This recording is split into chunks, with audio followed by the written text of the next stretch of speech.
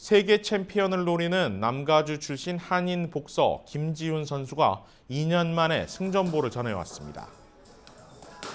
김지훈 선수는 지난 토요일 멕시코 티와나에서 열린 4라운드 대전에서 멕시코의 알리 가르시아 선수를 맞아 3라운드 만에 TKO 승을 거뒀습니다. 이번 경기로 김지훈 선수는 8전 8승을 기록하며 무패 행진을 이어갔습니다. 이번 경기는 김 선수에게 2년 만에 복귀전이자 승리입니다.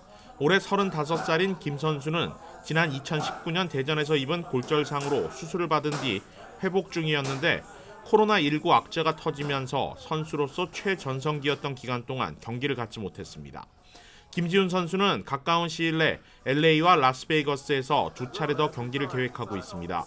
향후 1, 2년 안에 WBC 슈퍼플라이급 세계 챔피언을 목표로 구슬땀을 흘리고 있습니다.